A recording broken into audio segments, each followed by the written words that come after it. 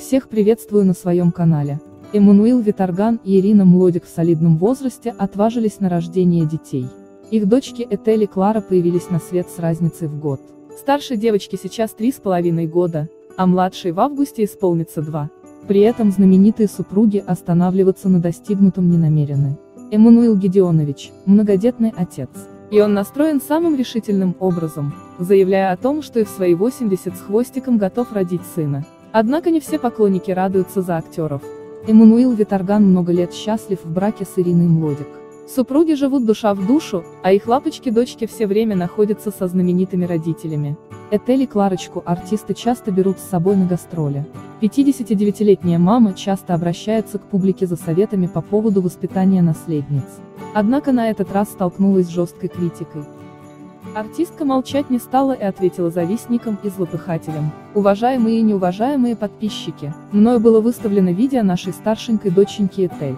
Никого не трогая, просто задала вопрос, что детки в возрасте трех лет, по вашему мнению, должны уметь делать, расскажите о своих детках.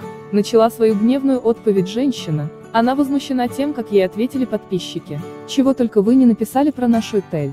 Во-первых, многие не отвечали на вопрос, мною поставленный. Во-вторых, мягко говоря, грубо выражаясь, как говорил Аркадий Райкин, просто сделали из нашей Этель недоразвитого, заторможенного, больного на голову, распущенного ребенка. Сообщила Ирина. Супруга Виторгана посетовала, что люди утратили так, воспитание и любовь к детям. Зачем давать советы по поводу нашей доченьки, о которых вас не просили? Посмеете еще, сразу блок. Стояли бы рядом, дала бы щелбан, пригрозила она. К слову, ранее публика напала на Эммануила Гедеоновича. Актер показал свою дочку Этель на горшке. Многие поклонники возмутились, что родители сняли дочку в столь интимный момент. Зачем такое показывать? Этель вырастет, и ей будет стыдно, написали возмущенные граждане. Напомним, Виторган и Млодик души не чают в своих детках. Первая дочь Этелю пара появилась, когда Эммануилу Гедеоновичу было 78, а его жене Ирине – 56 лет. При этом супруга артиста уверяла, что выносила и родила ребенка сама. А вот вторая дочка Клара родилась с помощью суррогатной матери незадолго до 80-летнего юбилея актера. По слухам, новоиспеченные родители заплатили Сурмаме 2 миллиона рублей. Младшую дочку Клару супруги назвали в честь мамы Виторгана.